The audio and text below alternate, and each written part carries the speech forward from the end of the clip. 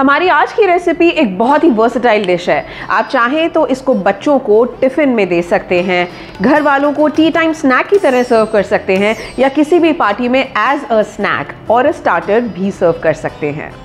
Versatile होने के साथ साथ ये एक बहुत ही हेल्दी डिश है और बहुत ही कन्वीनियंट है, क्योंकि आप इसको पहले से भी बना के रख सकते हैं। तो चलिए बनाना शुरू करते हैं आज की रेसिपी जो है healthy and nutritious vegetable cutlets welcome back ladies and gentleman मैं हूँ आपकी शेफ़ एंड दोस्त सुगंधा और आप मुझे देख रहे हैं आपके अपने चैनल आउट ऑफ़ फ़ैशन पे। अगर आपको मेरी रेसिपीज़ पसंद आती हैं तो प्लीज़ लाइक का बटन ज़रूर दबाएँ सब्सक्राइब करें मेरे चैनल को और नीचे दी गई बेलाइकन को भी ज़रूर दबाएँ, ताकि आने वाली रेसिपीज़ की नोटिफिकेशन आपको मिलती रहे।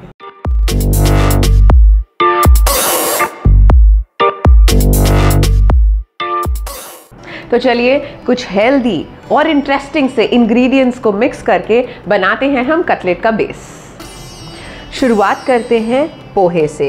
ये है एक कप पोहा जिसको मैंने तीन से चार बार धो के करीब 10 मिनट के लिए ढक के रख दिया था.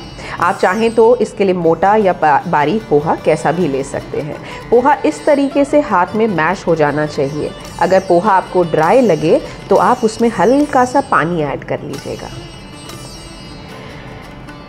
अब मैं इसमें डाल रही हूँ एक मीडियम बॉइल्ड आलू, एक बारीक कटा हुआ प्याज, आधा कप ग्रेटेड पनीर,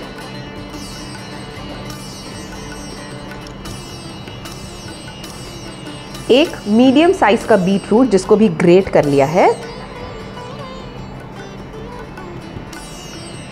और बारीक कटा हुआ हरा धनिया।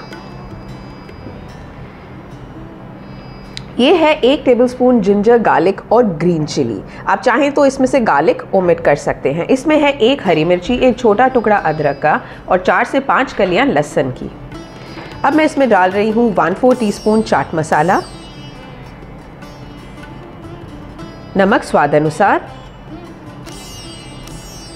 हाफ़ अ टी स्पून भुना हुआ जीरा. एक टीस्पून लाल मिर्ची पाउडर अगर आप बच्चों के लिए बना रहे हैं तो लाल मिर्च की जगह काली मिर्च भी डाल सकते हैं।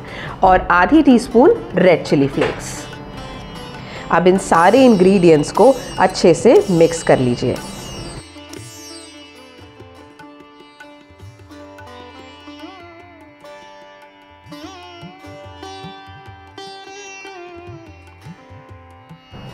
चटपटा सा और हेल्दी सा कटलेट का मसाला बनके तैयार है।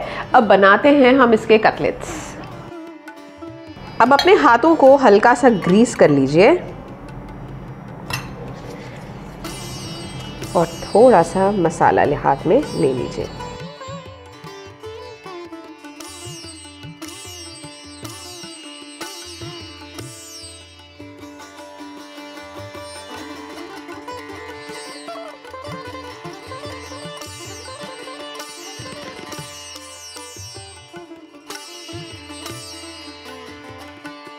अब इन कटलेट्स को हम रोल करेंगे ब्रेड क्रम्स और तिल में।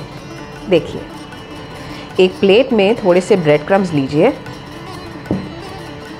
और उस पर डालिए थोड़े से तिल इससे जो हमारे कटलेट्स हैं, वो और हेल्दी टेस्टी और क्रिस्पी हो जाएँगे।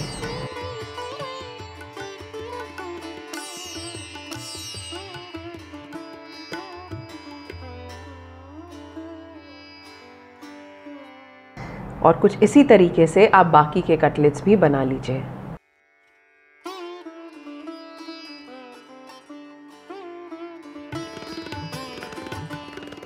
कटलेट्स बन के तैयार हैं, अब बारी है इनको शैलो फ्राई करने की।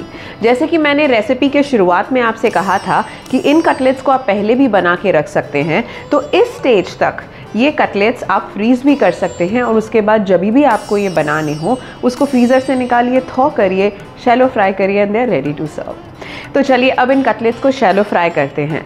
शैलो फ्राई करने के लिए किसी भी एक फ्लैट पैन में या तवे में थोड़ा सा तेल या घी ले लीजिए।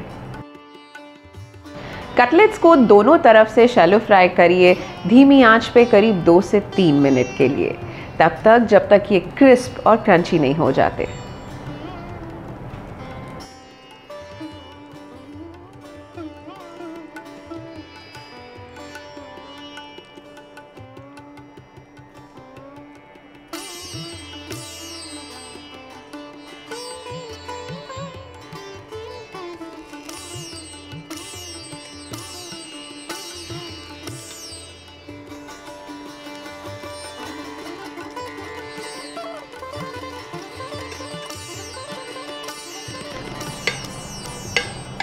कटलेट्स दोनों तरफ़ से अच्छी तरह कुक हो चुके हैं। अब हम इन्हें एक सर्विंग प्लेट में निकाल लेते हैं।